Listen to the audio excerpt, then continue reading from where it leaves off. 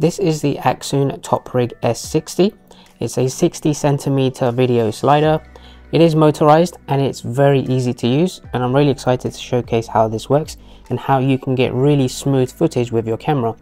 Some of the key specifications that are written on the side of the box as you can see here but we will talk through these in more detail in a second.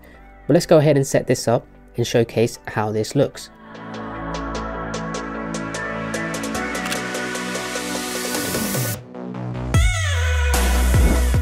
So I now have it mounted on my tripod. This is a quick preview of how it works whilst it's being motorized on the slider.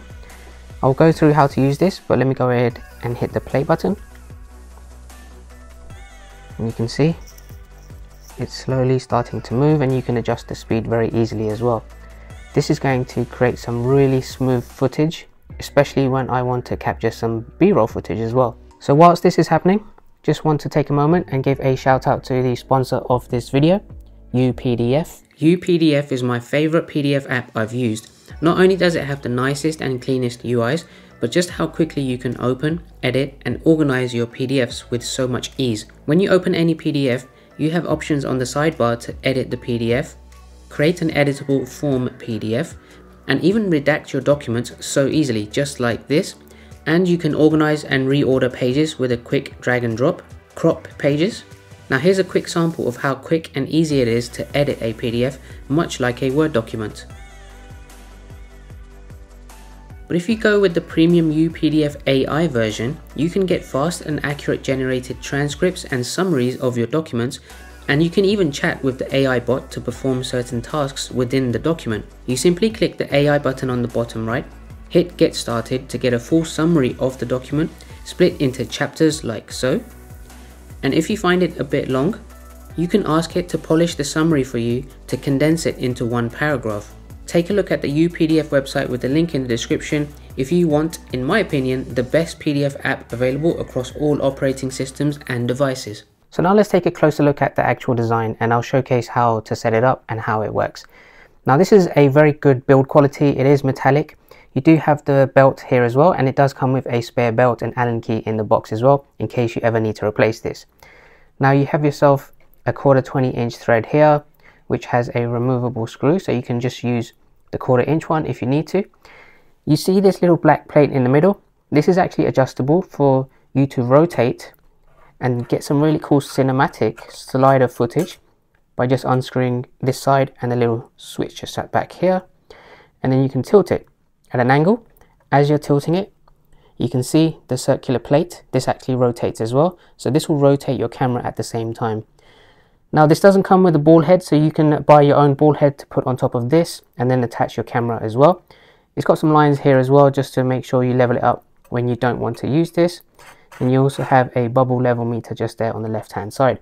This also requires you to buy an NPF battery to power this, but you can also power it via a DC input as well in case you don't want to use a battery. Now if we take a look at the bottom, you can see there's four quarter inch threads there as well we also have a 3 8 thread right there in the middle in case you want to mount it in different various tripod plates.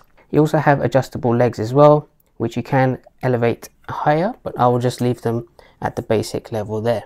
Now let's take a look at the controls. So once you have attached a battery, you have yourself the battery level indicators with the LED lights here that go up to 100%. All you need to do is turn this on with the on off button.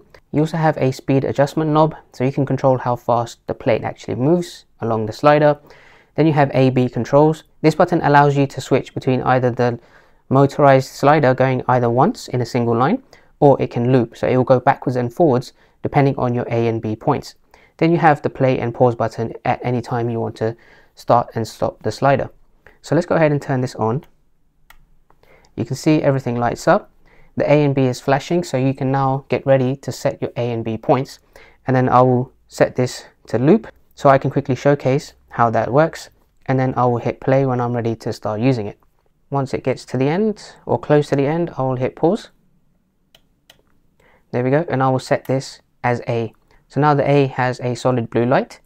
Let's continue.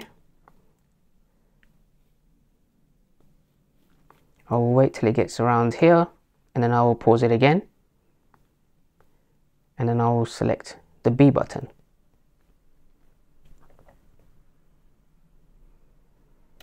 pause it there, hit B, now B is lit up in blue as well. So that's very quick and easy. Now, the first green light on the loop button is set to just one, but if I want to loop it, I press it again. The second green light, this now is loop sliding. Now the A and B is set, if I hit play, this will cycle between those two points that I've set. And that is a very quick and easy setup. And in fact, there's nothing else you generally need to do to get this up and running in this fashion. But this also comes with the Top Rig app as well. So you can actually control this and set your points via the app.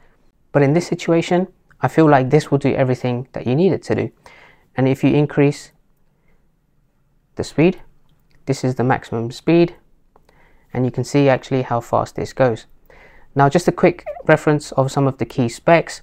Maximum payload on horizontal view is 4 kilograms, but you can actually tilt this vertically and the max payload if you do use this vertically is 2.5 kilograms.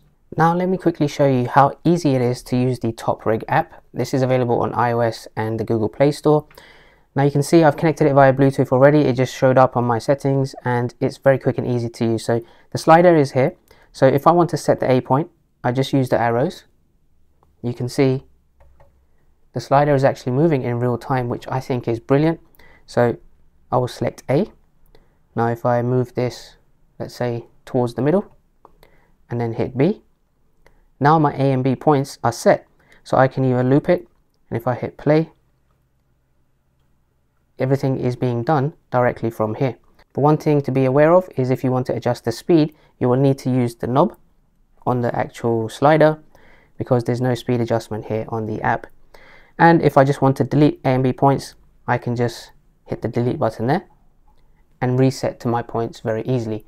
So the app is a very quick and convenient way to get this set up if you want to use that. But in fact, like I mentioned earlier, everything is so easy on the panel on the slider itself that you may not even need to use the app.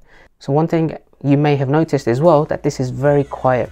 It's pretty much noise free so you don't have to worry about any of the motor noises interfering with your audio whatsoever.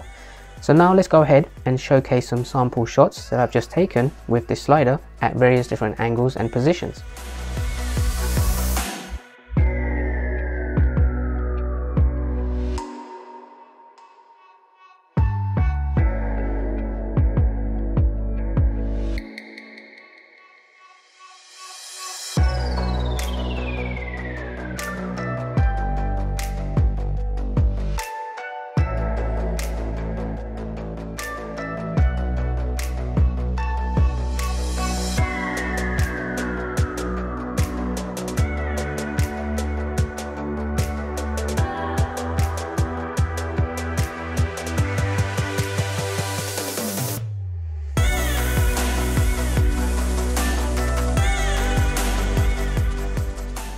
There we have it guys, that is the Top Rig S60.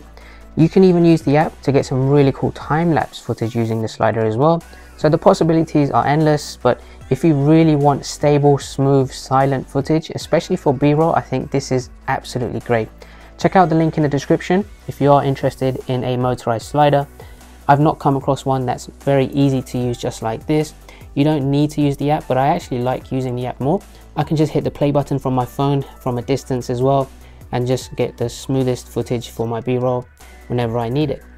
If you have any other comments about this, as always drop a comment down below. Make sure to like the video, subscribe to the channel. I've got really cool tech reviews like this out every week and I will catch you all at the next one. Take care.